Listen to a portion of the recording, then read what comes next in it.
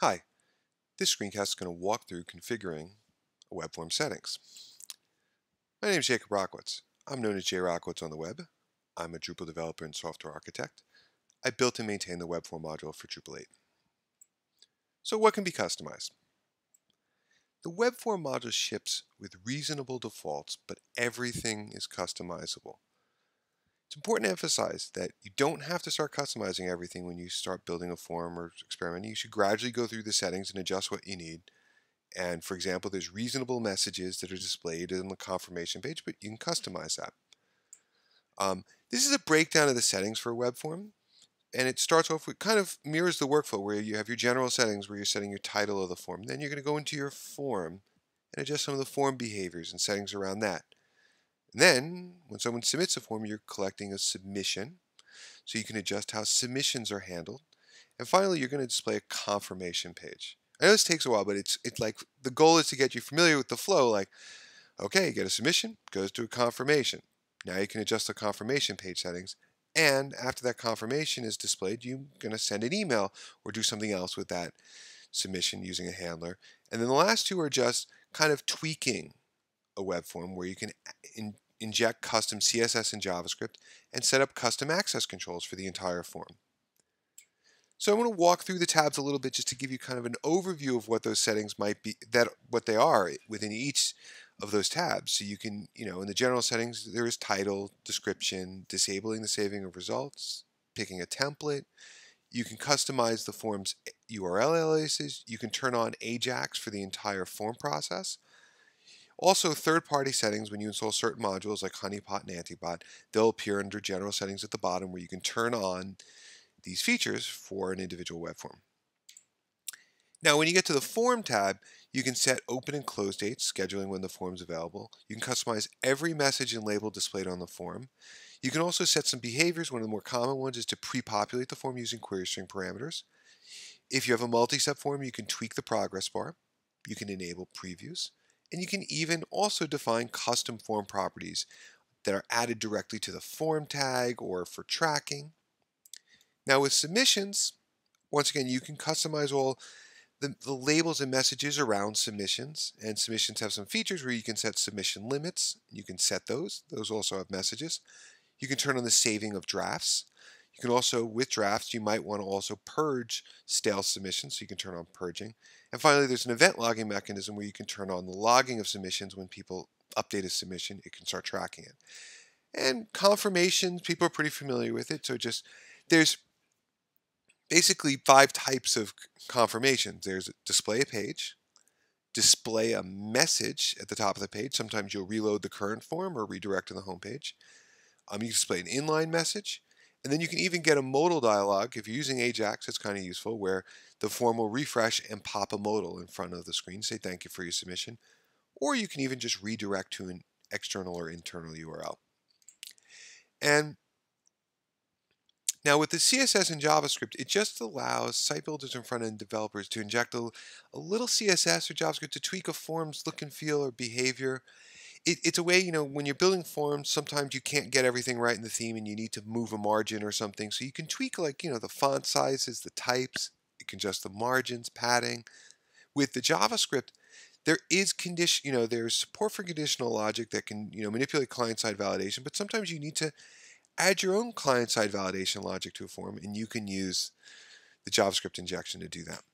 And then access controls is really deciding you know, who by role, user, permission can view, update, delete, or purge submissions, or, or you know, view, update, and delete their own submissions. So I'm going to give you a little demo and an overview of it. I'm going to go into this. So we're on the contact form. You know, I've shown this a few times. I'm going to go to settings, and here's your general, where you can, you know, title, description, category. This is the URL aliases. You can turn on Ajax. You can also, you know, the author owns the web form, so you can change that.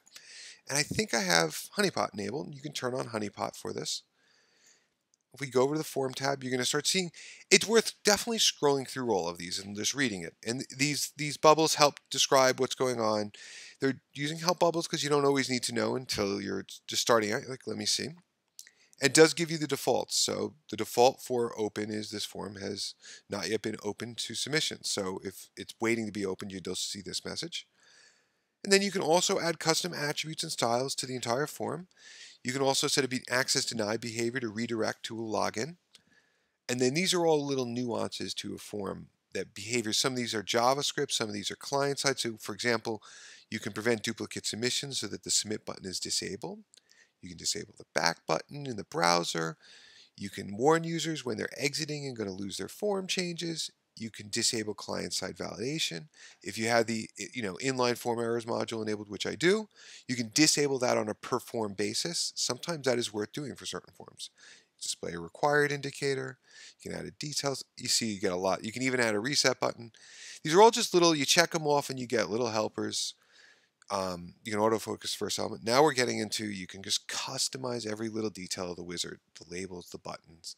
You can turn on previews. And then once you're there, you can turn on the preview label, the message, the title, what values are going in. And you can also even get into the nuance of how the form is going to work.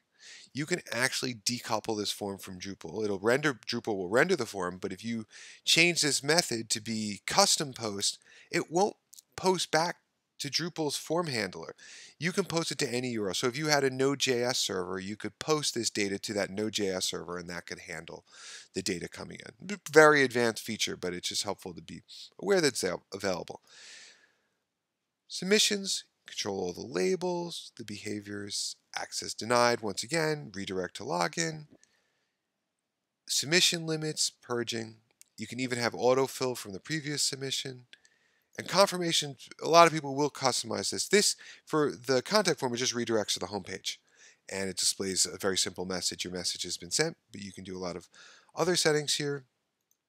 Emails and handlers we've talked about. There's other pre presentations about it. This is where you control how an email is sent. Um, CSS and JavaScript is just, you know, you can add custom CSS to the form. If you want to make the font size bigger, you can go in here and start writing your, your selectors and stuff like that and access controls. Um, and this just shows you all of them. You can even control who can test a form and see that test tab. I know it's a lot to digest, but it's important that you walk through this and get comfortable with these settings.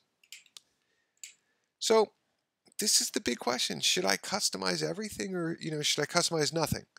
Well, the tips, you know, I'm kind of hinted at know what's possible and know what's impossible. Listen, there's some things you probably can't customize, so you got to figure that out. Keep it simple. Don't go crazy. Get the form working. Also, if you're doing it, get the form working and the workflows working, and then go customize all the messages after you're comfortable with how the form works. Um, you know, default. There's also you can use Drupal's APIs, so you can define default settings for your forms, person, you know, on your site. So when someone creates a new form, it automatically gets your recommendation. So if you want always there to be a preview on a form, you can make that happen using, you know, hook web form create. That's just an entity hook.